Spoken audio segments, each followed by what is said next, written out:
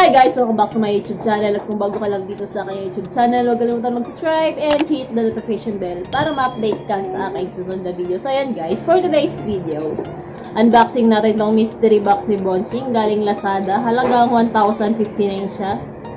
Ayan. Sanggaan niya lang.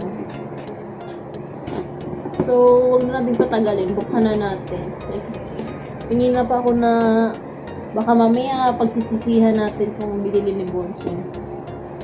Kasi sabi ko sa kanya, huwag na siya magbili-bili. So yun, bumili dami niya mystery box. Yung iba, nabuksan na namin. So ito yung pinakamahal na binili niya. Tingnan natin kung worth it yung binili niyang at mystery box. Kung ano yung laman.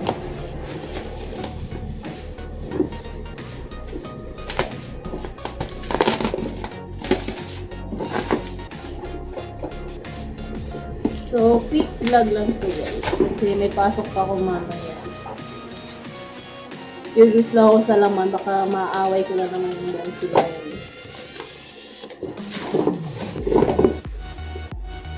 Ayan, nakabox talaga siya.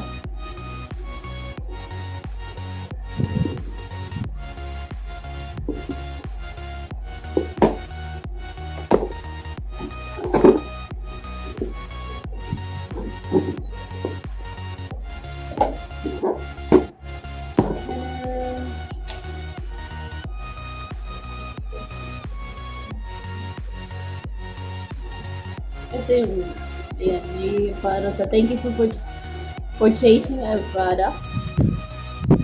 So, yan, may chance daw manalo ng load kung mag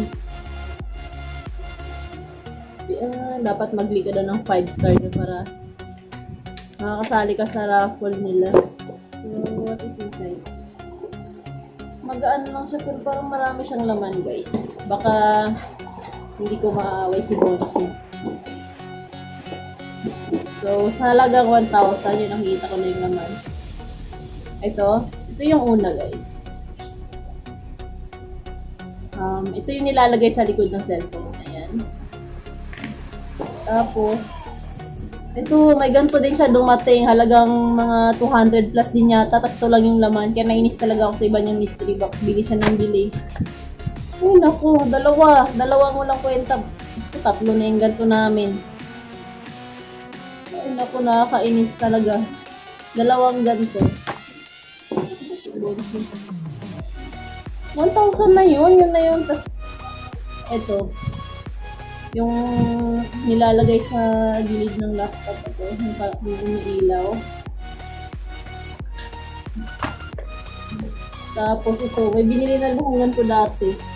So, bali, sa halagang 1,000, ito lang yung mabibili. Ay, ito lang yung laman ng mystery box. Ito lang. Itong limang to. Dalawang phone stand. Isang para sa likod. Tapos itong ano tawag dito? Yung nilalagay yung cellphone tapos parang magiging 3D pag pinapanood mo. So, yun lang guys. Nakakapagsisi talaga ito mula sa ng mystery box. Kahit sa Shopee, nakaka-ano din, nakaka-disappoint.